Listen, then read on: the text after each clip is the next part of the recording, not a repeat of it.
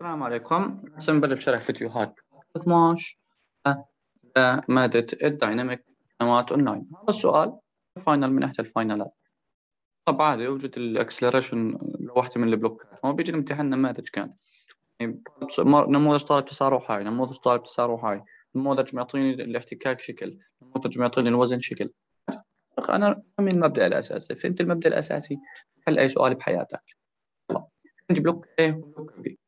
كيلو وزنهم 10 ال W تساوي 10 يعني ال mass 10 إيش؟ pound. يعني ال mass 10 32 2 إيش 32.2 اللي هي الجاذبية بوحدة ال feet لكل second تربيع. تمام. قال إذا ال mu K point 1 يعني في عندي احتكاك طيب.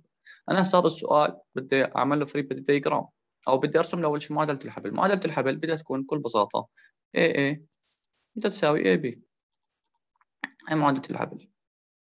إنه تسارع A تسارع B نفس التسارع طيب هاي بستنتج منها ولا شيء. بقطع من خلالها T طيب آه بس أكيد بستنتج منها شيء مهم يعني.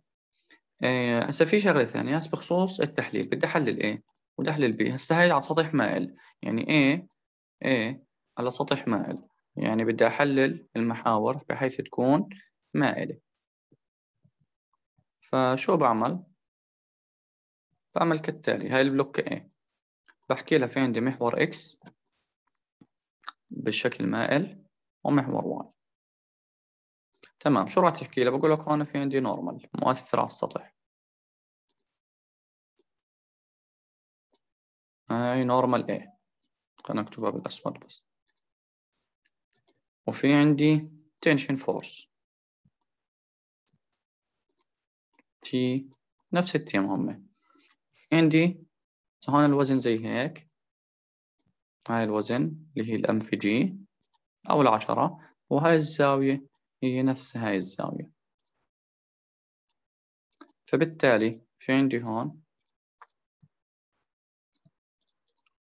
M G cosine ستين وعندي هون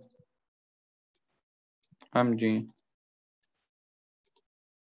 sine ستين.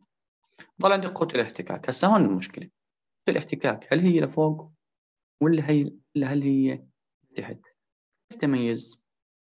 كيف تميز؟ آه عادي. بسيطة جدا. بسيطة جدا. كيف يعني بسيطة جدا؟ دي هاي زاوية ستين. دي هاي الزاوية ثلاثين. وبلوك A و B نفس الوزن. يعني الاثنين يعني يا A بتشد B يا B بتشد A. طيب ما هم نفس الوزن يعني متزن بقول لك لا. زاوية الميلان مختلفة. زاوية الميلان مختلفة. بس لما يكون السطح بنزلق هيك مش لما ينزلق هيك ولا لما ينزلق زي هيك هيك يكون تأثير وزنه أعلى من هذا وأعلى من هذا. فبالتالي بلاحظ إنه زاوية ميلان A 60 أقرب لأنها تكون أقرب أنها تكون نازلة لتحت.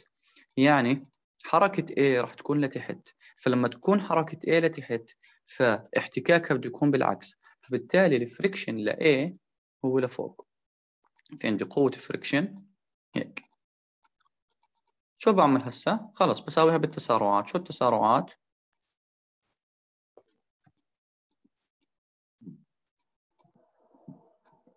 التسارعات عندي بس بكل بساطة. M في A. كيف اتجاهها؟ هيك. بفرضه هيك فبالتالي لما أفرض B لازم أفرضه لفوق. اتجاه الحركة يعني. M A في A. A. هسه شو بعمل؟ بطبق المعادلات. هسه كونه في friction فبدي أطبق معادلة F Y بطبق مجموع F Y بالجهة هذيك. بيساوي في عندي تسارعات هون؟ لا. فبالتالي zero. بالتالي zero. شو بحكي هسه؟ N A ناقص M G cosine ستين بتساوي zero فبتطلع معي قيمة N A عشرة cosine ستين. عشرة cosine ستين. شو بعمل فيها هاي؟ بطبق ال sigma F X. راح أحكي ال friction اللي هو ال N في N A يعني في. point 1 معامل احتكاك زائد ال tension ناقص M G sine ستين.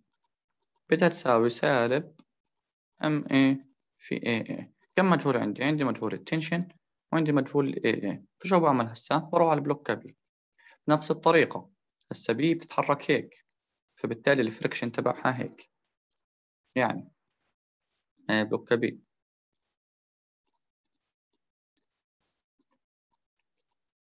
في عليها tension force.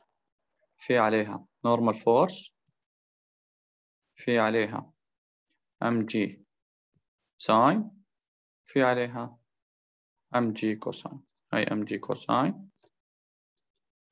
ثلاثين. وهاي mg sin ثلاثين. فعندي هاي تتحرك لفوق فاحتكاكها لتحت